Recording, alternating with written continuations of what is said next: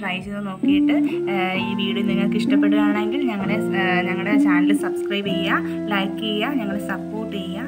thank you